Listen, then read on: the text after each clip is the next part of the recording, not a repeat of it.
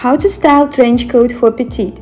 Wear it with blue jeans and black loafers for a casual and quite elegant look. The same loafers but navy blue jeans and simple black t-shirt is a perfect casual Parisian outfit. White shirt and long black flat trousers will always make you look classy and sophisticated. Total jeans outfit, so I wear denim shirt with jeans for a fresh spring outfit.